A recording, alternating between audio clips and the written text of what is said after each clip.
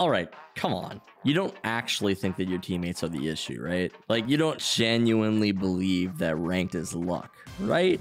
Most of you probably don't. I mean, I love to blame my teammates as much as the next guy, but like they can't really be the reason when so many people can climb consistently. But maybe you do believe it's luck, in which case the series is for you. This month, I'm going to be taking a journey, nay, a pilgrimage into the depths of hell to figure out what it really takes to climb in Valorant. I don't want an easy climb though. I've been playing in immortal level lobbies for far too long. If I just queue into a silver level lobby as chamber, I'm going to absolutely trash on everyone there. That would not be fair. We're not going to do that. Instead, I'm going to be playing Astra, one of the most demanding agents when it comes to team play. And what's that? Oh yeah, I also will have comms muted for this entire climb. Because you guys always say that your teammates don't listen to you, and if that's the case, I gotta figure out what I would do to carry if my teammates didn't listen to me. The goal of the series is to show exactly how anyone can rank up out of the depths of hell all the way up to diamond by just applying the same fundamentals that we teach over at SkillCap. Many people believe that the tips that they hear from high elo players don't apply to them, and believe it or not, sometimes they're right. Playing in low elo demands an entirely different skill set, and just trying to mimic top tier players will only hold you back. That's why at SkillCapped we teach the game from the low elo perspective to help players understand what it really is that they need to do to climb. The best part about the series though, since I couldn't communicate with my teammates, I instead decided to record every single game and walk viewers through my thought process during each match. Over on the website, you'll be able to find 30 plus games from a top immortal level player where I explain every single decision that I made and why I made it.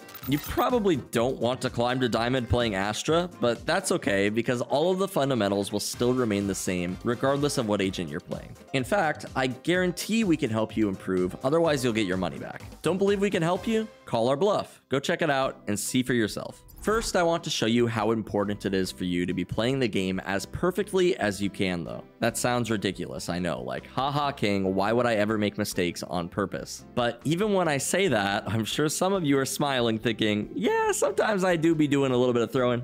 In the past, I've been really lenient on this sort of thing. Sometimes it's fun to chase after kills and ego swinging people, but after starting this climb, I'm going to double back on this viewpoint. If you've ever heard the saying, practice makes perfect, you're only actually hearing half the story. The phrase many pro players will echo is, it's not practice makes perfect, it's perfect practice makes perfect. If you really want to get better at the game, you have to cut out this sort of trolling stuff. Many games are decided by just one or two rounds, and if you deliberately make a decision that you know is a mistake just because you feel like it, you're holding yourself back way more than you realize. It's more than just one game. It's not enough to know that you knew the correct decision. You need to practice making these decisions. Otherwise, it's likely that you'll make the same mistake in the future. For example, take a look at this round that I played during one of my gold level games. If you look up at the scoreline, you'll notice it's currently 9 to 4. We're clearly doing great, but after switching sides, we actually lost the pistol round.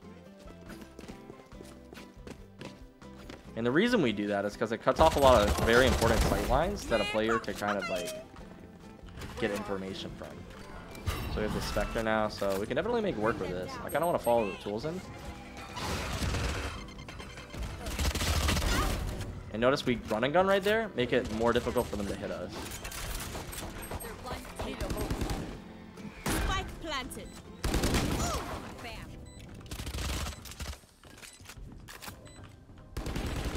Player standing.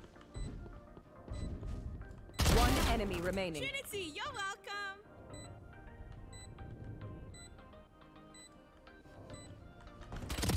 As you should know, losing the pistol round generally means that your team is on a save and will likely end up losing the second round if the enemy team buys up and plays intelligently. This means if everything goes according to plan for them, they should quickly close out this round and turn that 9-4 into a 9-5. Alright, that doesn't sound that great still, but stick with me. If they don't lose a lot of players on this buy, they can actually keep most of their Spectres and take them into the next round, which would then be our buy round. Most players refer to this as a bonus round. Now, although a team isn't favored in a bonus round, if they do end up winning it, they will have a ton of extra credits, rifles, and this will put the scoreline at 9 to 6. Not only that, but we would also once again be on a save round and will likely result in another lost round for us, making the scoreline way closer than we'd like it to be. Valorant is a game of momentum, and by winning Pistol, you can easily snowball this win into four, even five rounds sometimes. But everything I just explained is just the optimal situation. The bottom line is nothing is guaranteed, and if you fuck around too much, you might lose your advantage real quick. That's exactly what this Raze learned the hard way when she wide swung our entire team with her Spectre. I say this Raze learned the lesson the hard way, but the reality is she probably swung this angle, killed our chamber, and then went, I got mine after she got traded. What she fails to realize though is because she pushed up so far alone, she ended up giving me a Spectre on my save round. I didn't buy anything this round, like at all. I didn't even buy any stars, but now I've just been gifted a Spectre and you're about to see what I'm going to do with it. Immediately after getting this pick, if we're being conscious about normal positions during the pre-round, what we will likely expect is that there will be one more player on A, there will probably be a player coming over from Boiler over towards screens to help, and this means that we will have a 4v2 on A site if we move quickly. Luckily for me, my Fade was using util to help us scale up on site, and rather than just watching her do this like many players might do, I want to put my freshly gifted Spectre to work. So as soon as I see my Fade's Prowler go out, I follow up behind it and scale onto site. Because I'm expecting one player on site, I'm not too caught off guard when I find the Fade back site, and I take advantage of the running accuracy on the Spectre to help me secure this kill. But wait, I'm not done. As I'm planting the spike, I notice my teammates are falling quickly, so I'm trying to get a grasp on what is going on in the round. By listening for info, I'm able to quickly determine that I might have some sort of an opening to wrap around back site, so I quickly start to do so. As Sage rained down from the sky, I was able to pick her off with a decent flick, and then without skipping a beat, I immediately grab onto the rope and start going up into nest. A site icebox is easily one of my favorite sites in the game to be in clutch situations on because there are so many different ways that a player can approach it. You can go up into nest like I did, or you can wrap around the front side of nest, or you can wrap around the back side of nest, or you could even go through maze. Some players might even consider staying screens or wrapping around towards rafters. There are so many options, but by using some deduction based on timings, a smart player can make sense of all of these options and accurately predict where their opponent is. By taking the zip line, I have effectively checked off one option. Raze is not going up into nest because I am there, so she must be doing something else. The best part about this though is that I also can see towards the front of nest and I don't see Raze there either meaning that unless Raze went maze, which I felt was very unlikely given the circumstance, she had to be backside wrapping around on me. Sure enough, I'm able to drop down and clear her out, turning a round where I literally bought nothing into an amazing round win that essentially seals the game for us. Because as we said, winning pistol round is awesome, but if you lose the buy round after, you're back to square one. Now we have stolen the advantage. We have the guns, we have the credits, and they have to save now. And it's all because of one stupid play from the Raze. Not to say that there is nothing her team could have done after she died to win the round, but she definitely made it significantly harder for them to win, and that's why it's important that you are consistently making the best decisions that you can possibly make in your games. Because no round is a given, and at the end of the day, this kind of stuff doesn't just lose you rounds, it loses you games. Valorant is a video game, I get it. Sometimes you just want to have a little fun, and playing perfectly isn't always fun. However, if you want to rank up, you need to play as perfectly as you possibly can. This means if you know something is dangerous or a mistake,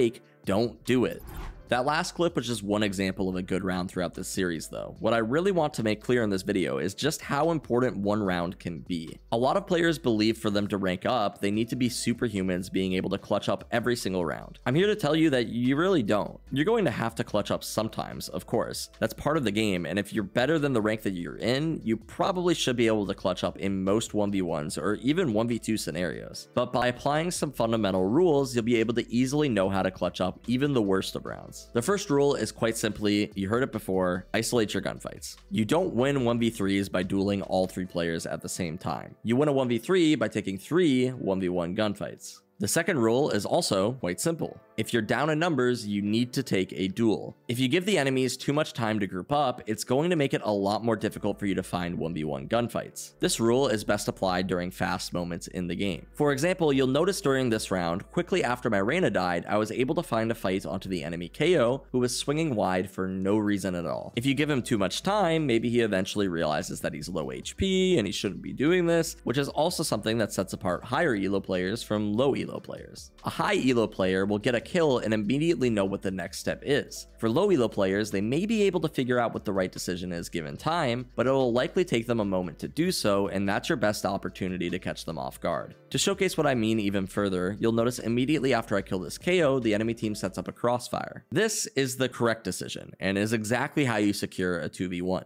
Remember our first rule? If I can't isolate my gunfights, it's going to be very hard for me to win the round. At this point, the round is seemingly theirs for the taking. Or is it? Recently, I was watching a video from our League channel where our content creator Hector talked about the idea of asking your opponents questions to see if they know the answer. These questions are asked by introducing threats to your opponents and seeing if they know how to correctly identify the threat and respond to it appropriately. 1v2s are a tough win, especially when the enemy set up a crossfire like I've heard my opponents doing here. But I still have one star available, so it's time to ask them a question. The question is, do they know what to do if I smoke off the crossfire and try to isolate a fight onto Chamber? The answer is, as soon as Cypher sees this smoke go down, he needs to recognize what I'm doing and get ready to swing the smoke when I take contact with Chamber. Chamber as well should likely recognize what is happening and try his best to stay alive until Cypher can swing with him. This means Chamber also needs to tuck closer into the corner to give time for Cypher to get close to the edge of the smoke so that he can swing off of him. However, this is not what happens. Once the smoke goes down, Chamber swings out wide before Cypher gets into position, and Cypher was too slow to push into the smoke, so he wasn't ready to trade out the kill. After Chamber dies, it's not a good idea for Cypher to swing out of the smoke, so now the round slows down a bit. This brings us to our last rule for clutches, which is patience is a virtue. This is something I've learned quite a bit over the last year, and it's won me countless rounds. I can't express how important it is to be able to slow yourself down in these moments. Because although I've turned a 1v3 into a 1v1, I still need to close out this round. I knew that they were setting up a crossfire, and although Cypher was too slow to swing the smoke, I still think it's very likely that he at least made some sort of effort. This means although the spike is currently in the smoke, I can't go in there and get it. It would just be too risky, and honestly, I don't need to take the risk anymore. I have plenty of time on the clock, and the pressure's on him right now, because in about 8 seconds that smoke is going to fade, and at that point, I could be anywhere. So I just wait. In the meantime, I clear back site real fast to make sure that he's not wrapping around on me, and then after I see that he's not there, it's pretty obvious where he is. Now, although I whiffed my first few shots on him, the thought process was all there, and I just really wanted to demonstrate how winnable these rounds are if you just apply the things that we teach you in our videos. I'm not some superhuman player that just clutches up every single round, but so far in this climb, I've averaged around one clutch a game, and that's helped me win a majority of my matches. Which brings me to my final point for this climb, which is that some of you are shouldering way too much responsibility in your matches. In our last video, I posted a screenshot of my match history through silver, and I match MVP'd pretty much every game. That kind of stuff didn't last in gold. I still played very well and pulled my weight, but there were quite literally some games where I just got carried. Not due to lack of effort or poor play really, just due to the fact that my teammates were hitting shots. We've talked about a theory before in our videos where we've said around 20% of your matches are guaranteed wins. Pretty much regardless of what you do, it's a one game. Maybe they have a leaver, maybe you have a cracked teammate that carries you to victory. It would basically be impossible for you to lose. However, there is also an equal 20% of your games that are instant losses. No matter what you do, the game is unwinnable. You could play to the best of your abilities and it wouldn't matter. Maybe you have a leaver, maybe the enemy team is the entire loud roster preparing for a tournament. Whatever reason, the game is unwinnable. That other 60% though is what you're fighting for. Those are the games that you can have an impact and actually be able to sway them in your favor. Going by this rule, you may think that I have an 80% win rate on this account, but that's not actually true because I don't play perfect all the time. Maybe a top Radiant player would be able to pull that off, but I'm just an average Immortal player. Sometimes I miss shots, sometimes I make mistakes, and honestly, I'm still learning how to play no comm Astra in this elo. I'm currently sitting around 70% win rate, which means I still lose about once every three games. I'm saying this because I want you guys to recognize it's okay to lose. In fact, you're likely going to learn a lot more from your losses than your wins. Over the course of the series, you'll see how I learn from my losses and discover the real secret to climbing in low elo. If you want the full value from the series though, I highly recommend you check out our brand new course on the website. There you will find over 30 commentaries where I walk you guys through every single game that I play on this climb and teach you everything there is to know about climbing in low elo. As we mentioned earlier, it's all backed by our rank improvement guarantee, so you can be sure that you'll actually gain rank from using our service. It is possible for you to hit those higher ranks. All you've got to do is apply the right methods and you'll skyrocket to success. That's going to do it for this video. As always, my name is King and we here at Skill Capped want to thank you all for watching. We'll catch you in the next one.